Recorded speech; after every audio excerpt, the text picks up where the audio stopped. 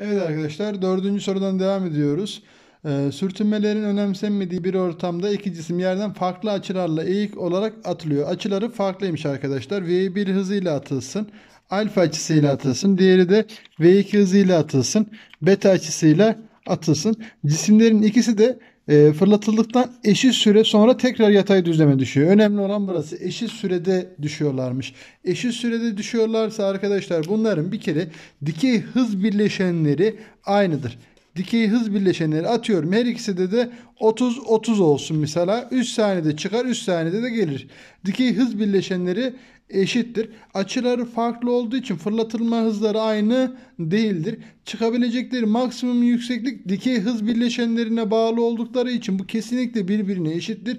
Menzil uzaklıkları birbirine kesinlikle eşit olabilir de olmayabilir de kesinlikle dediği için cevabımız Bursa'dır.